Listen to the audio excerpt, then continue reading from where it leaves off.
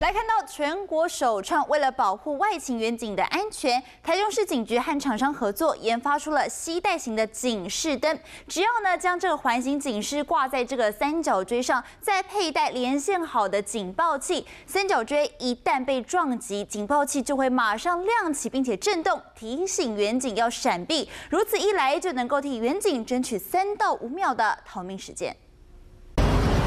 远警夜间执勤，站车道旁指挥交通，就怕视线不良，车子乱闯乱撞。三角锥放旁边，这时要是有人车撞倒三角锥，远警身上警示器马上亮灯，狂叫提示远警快闪。这个警示器的敏感度有多高？我只是轻轻的碰一下，远警身上的感知器马上就会响铃大作，外加震动。